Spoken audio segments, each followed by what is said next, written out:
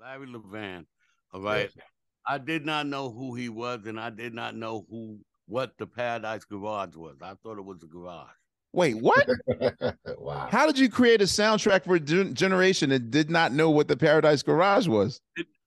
I did. I'm just being honest. So, what I- place? What was the pl- what was the epicenter of a place where you wanted to see how your music worked?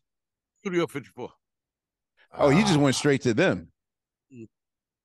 Yeah, and that's where that's where my first gig at any of those clubs down there. Long before I learned about Paradise Garage, my first gig was at Studio 54.